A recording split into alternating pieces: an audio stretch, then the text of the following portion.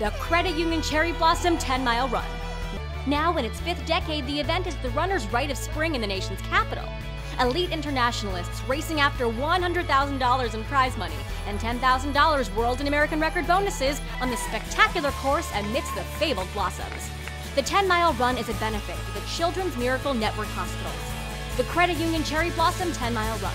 Join the party and help the kids. A winning combination.